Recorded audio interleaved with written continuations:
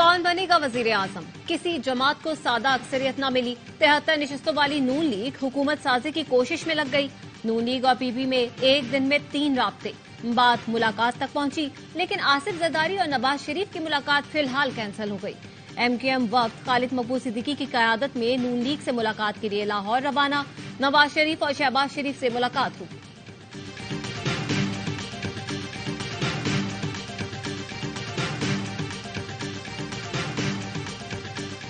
जिस जमात के पास अक्सरियत हो, हुकूमत बनाना उसका हक बनता है। हमारे बगैर कोई हुकूमत नहीं बन सकती। बिलावल भुट्टो जरदारी ने वाजे कर दिया। ए आबाई न्यूज़ से गुफ्तगु में कहा, इलेक्शन के मुकम्मल नतज का इंतज़ार है। अभी किसी से कोई रबता नहीं हुआ। बिलावल भुट्टो जरदारी लाहौर से इस्लामाबाद रवाना हो गए।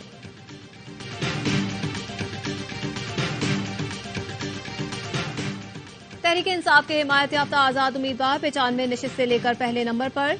तहरीक इंसाफ ने हुकूमत साजी की हमत अमली पर मुशावरत शुरू कर दी। अरकान कौमी असम्बली से रवाबित की ज़िम्मेदारी बैरिस्टर उमैर न्यासी के सपोर्ट। अली अमीन गंडापुर, खैबर पख्तूनख्वा में नौ मुंतब अरकान से रबता करेंगे।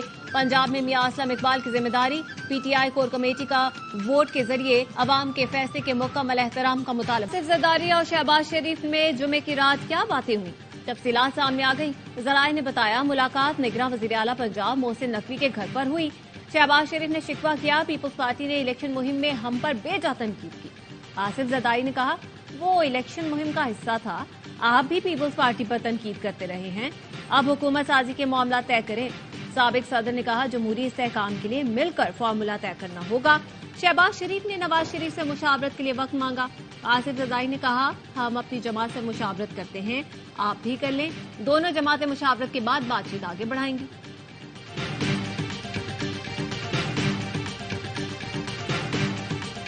आज़ाद उम्मीदवार किंग मेकर बन गए। कौमी असेंबली में इंडिपेंडेंट उम्मीदवार 102 नशस्तें लेकर सबसे आगे नून लीग दूसरे, पीपी तीसरे नंबर पर। पंजाब में आज़ाद उम्मीदवारों ने नून लीग को पछाड़ दिया। सुबाई नशस्तों पर एक सौ अड़तीस सीटों के साथ लीड। खैबर पख्तूनख्वा में 115 में से 90 नशस्तें आज़ाद उम्मीदवारों ने जीत ली। हुकूमत बनाने की पोजीशन में आ गए। सिंध में तेरह और बलूचिस्तान में नौ सीटें आज़ाद उम्मीदवारों के हिस्से में आई।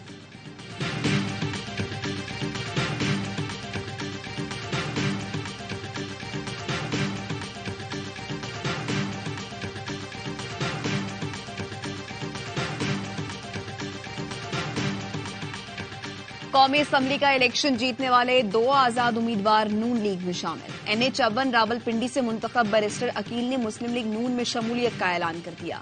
वीडियो बयान में बैरिस्टर अकील का कहना था कि ये नशस्त नवाज़ शरीफ की अमानत थी, तोहफतन अपनी पार्टी को दे रहा हूँ। ए अड़तालीस से कामयाब आज़ाद उम्मीदवार राजा खुरम नवाज़ नून लीग में शामिल। राजा खुरम ने कहा, मैं नून लीग और आईपीपी का हिमायत याफ्ता उम्मीदवार था। बाकायदा नून लीग में शमूलियत इख्तियार कर रहा हूँ।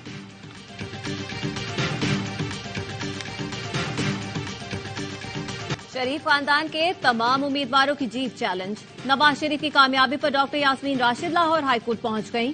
आज़ाद उम्मीदवार शहजाद फारूक ने एनए 119 से मरियम नवाज़ की कामयाबी के खिलाफ दरख्वास्त दी एनए 118 से हमजा शहबाज और पीपी एक सौ चौंसठ से शहबाज शरीफ की कामयाबी के खिलाफ लाहौर हाईकोर्ट में दरख्वास्तें उस्मान डार की वालदा ख्वाजा आसिफ की कामयाबी के खिलाफ मैदान में आ गई। अता तारड़, अलीम खान, गिलानी रियाज ज़्यादा की जीत भी चैलेंज। शोएब शाहीन, राजा बशारत, हलीम आदिल शेख भी नाकामी के खिलाफ अदालत पहुँच गए। एमकेएम के सरबराह खालिद मकबूल की कामयाबी भी चैलेंज कर दी गई।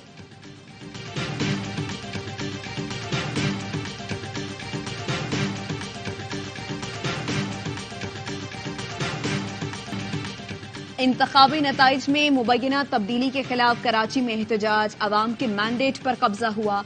अवाम अपना हक लेकर ही ये तहरीक खत्म करेंगे। हाफिज नईमरहमान का खिताब, कहा जुल्म के खिलाफ ना उठे तो भत्ताखोरी और दहशत गर्दी होगी अवाम ने इलेक्शन में कराची के गद्दारों को शिकस्त दे दी। जिन गुब्बारों में ज़बरदस्ती हवा भरी गई, वो जल्द फटने वाले हैं। इलेक्शन कमीशन सुन ले कि आपको अपना फैसला वापस लेना होगा। पीटीआई वाले फॉर्म 45 जमा कर लें, हर महाज पर मैंडेट के लिए लड़ेंगे। तमाम पार्टियों के बाजमीर कारकुन हमारा साथ दें। मैंडेट चोरी नहीं होने देंगे। कल आठ मकाम पर धरनों का ऐलान। इलेक्शन कमीशन ऑफ़िस के बाहर उम्मीदवारों और सियासी कारकुनों की बड़ी तादाद मौजूद। पोलिंग स्टेशन पर शफाफियत कायम रही। आरओ ऑफ़िस में शफाफियत पर समझौता हुआ। आरओ ऑफ़िस में मुबसरीन को जाने नहीं दिया गया। 16 लाख बैलेट पेपर्स मुस्तरद हुए। 25 हलकों में मुस्तरद वोटों का मार्जिन जीत के मार्जिन से ज़्यादा था। फैफिन ने इब्तदाई मुशाहिदा रिपोर्ट जारी कर दी लिखा, मुल्क भर में टर्नआउट 48 फ़ीसद रहा एक अंदाजे के मुताबिक छह करोड़ वोटर्स ने हक के राय दही इस्तेमाल किया